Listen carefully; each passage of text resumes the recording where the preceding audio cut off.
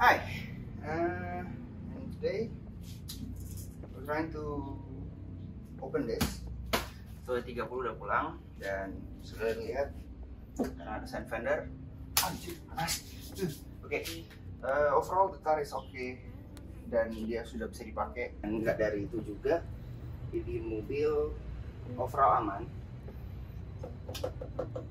Temper, uh, speedometer udah ganti, relay sekarang udah diganti-ganti sekarang dudukan sekarang udah diganti dan thank you TMD untuk ngebantuin gua ngerjain mobil ini. Btw Vulgaris sekarang open home service atau bawa mobil kalian ke tempat yang butuh reparasi jika kalian nggak punya waktu. Jadi kalau kalian punya mobil contohnya kayak 30 gua gua kerja orang tua gua kerja adik gua kuliah nggak ada waktu lu bisa DM Vulgaris nanti tim Vulgaris bakal bantu mobil kalian untuk dibenerin ke bengkel langganan kami dan pastinya harganya juga enak dan charge fee-nya hanya 15% dari total cost pengerjaan. Terus ini apa sih yang gue beli? Ini ada karpet untuk uh, interior 30 kali ganti karpet ini karena karpetnya udah buluk banget. Ini adalah peredamnya 30 untuk di bagian mesin karena peredamnya sudah jelek ini kita kasih peredam biar dia lebih suara yang nggak terlalu kuat dan anti panas juga wah nggak lupa kemudian dari sisi interior juga nggak banyak yang diubah oke speedometer sudah diganti ya ini speedometer udah diganti pakai yang tukar tambah. Dan uh, udah source shooter juga kita gue tunjukin. Terus relay-relay udah nyala aman semua. Sekalian gue tunjukin sedikit source shooternya oke. Gue akan tahan pintu di sini.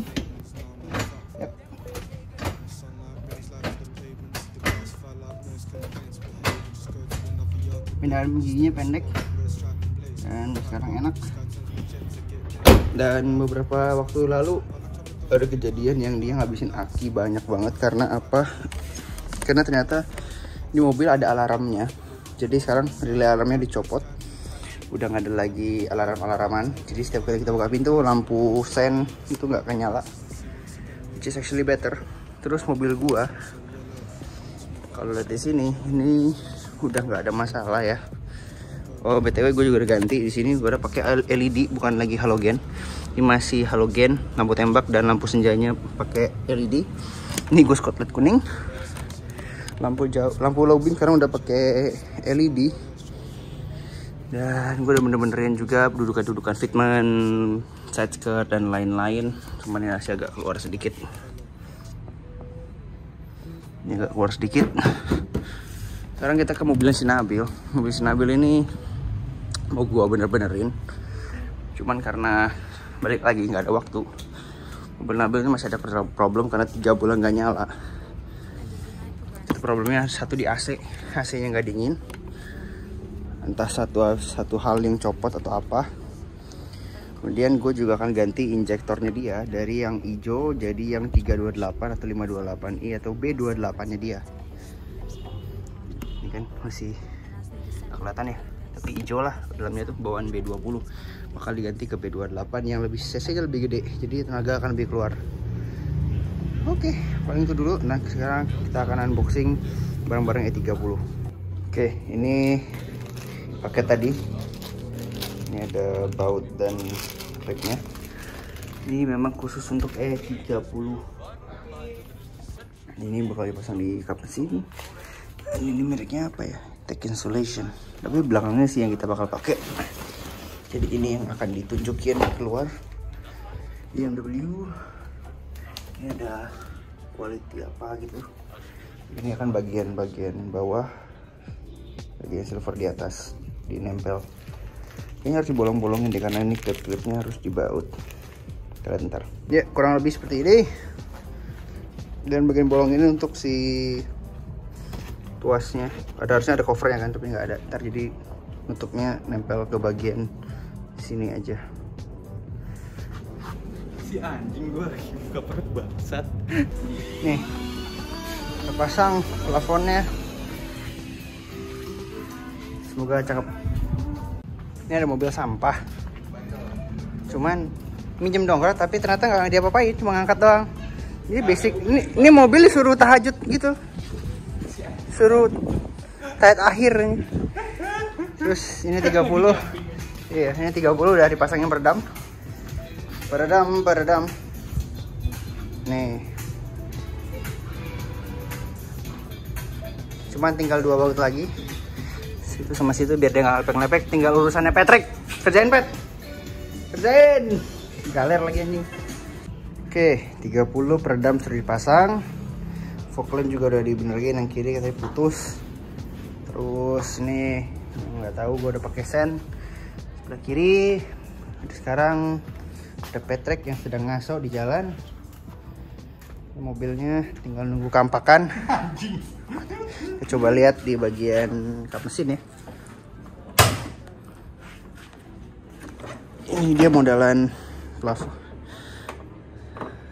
bentukan peredamnya VTEC dan dia ada slot untuk bagian ini. Nah, nanti dia slot itu buat bagian si throttle body. Dan sebenarnya kalau pengaruhnya banyak apa enggak? Sebenarnya enggak terlalu banyak. Cuma untuk meredam suara dan meredam panas saja jadi nggak terlalu panas. Panasnya kurang signifikan lah katanya Patrick ya masih ngerjain-ngerjain mobil busuknya ini. Kemudian mobil Nabil masih ada problem di AC colokan AC nya copot dan gua udah coba coba gonta ganti dan masih nggak nyala. Gua akan bawa ke Mas Supri dan insya Allah dia akan bisa membetulkan mobil nasi Nabil ini. Dan ngerjainnya pastinya pakai dari tim full garage karena gue ada tim untuk ngerjain mobil-mobil di rumah dan oh, yang nanya-nanya bahkan mobilnya bakal diapain sih di mobil? Bakal di mobil bakal dibenerin restorasi ulang. Apalagi kap mesin yang modelnya sudah begini. Cat ulang satu body warna hitam agak glitter. Interior juga bakal dibener-benerin. Dan untuk kalian belum tahu atau masih ingat pintu belakang masih bisa belum bisa dibuka. Gak ada yang putus dalamnya. Interior masih begini udah biarin aja di mobil Nabil cuma dipanas-panasin doang setiap empat hari sekali dipanas-panasin. Ya, mobil gue sih aman ya. Seperti itulah daily vlog minggu ini. Sambal depannya nggak muat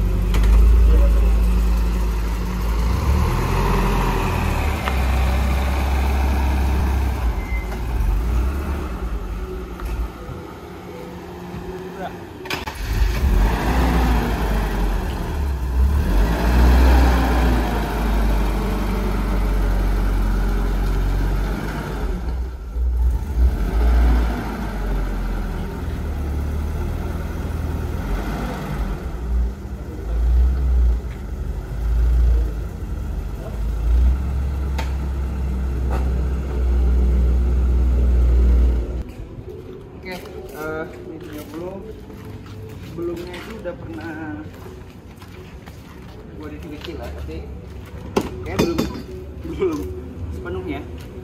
Dan hari ini kita akan review sedikit karena ada beberapa hal yang sudah dikerjain di 30 ini. Hari ini masih belum benar, jadi kita ganti strapnya pakai yang bagusan dikit. Oke.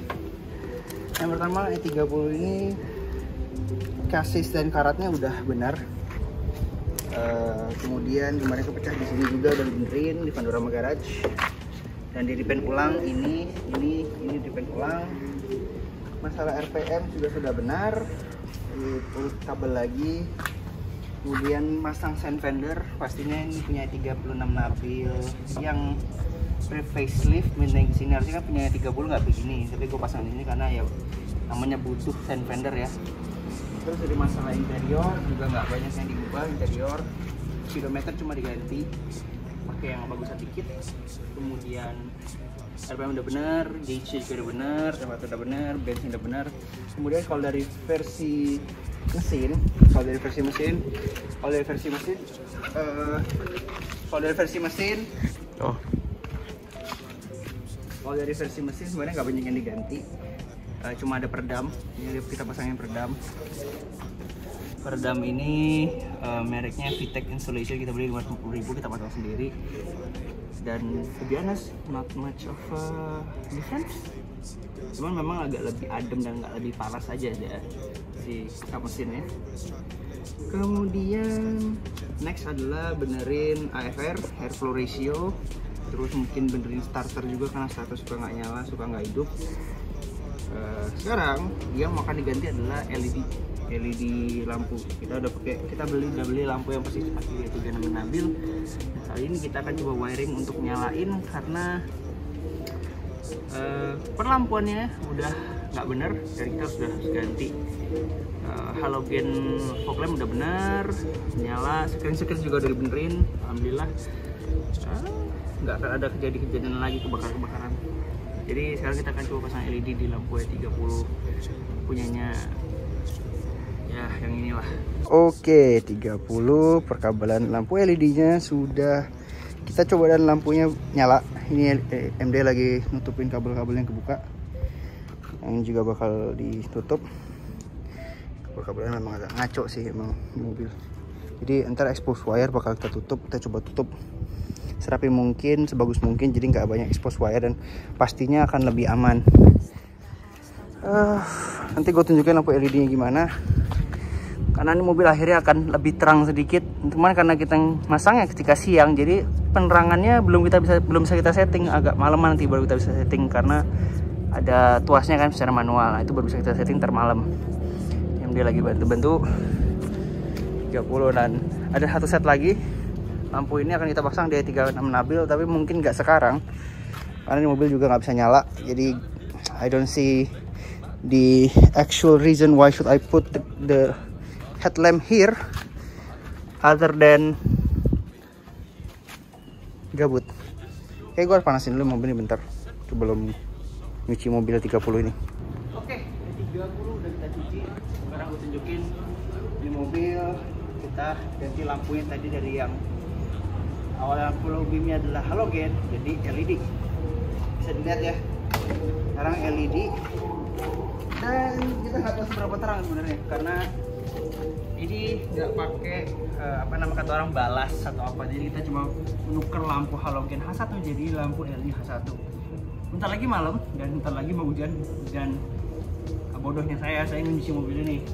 Insya Allah ini nggak apa-apa cuman sudah LED dan insya Allah lebih terang daripada halogen dan juga lebih adem dan lebih eh, dingin lah ya dibanding halogen karena halogen panas banget. Dan berapa kali dia putus terus gara-gara kepanasan kabelnya?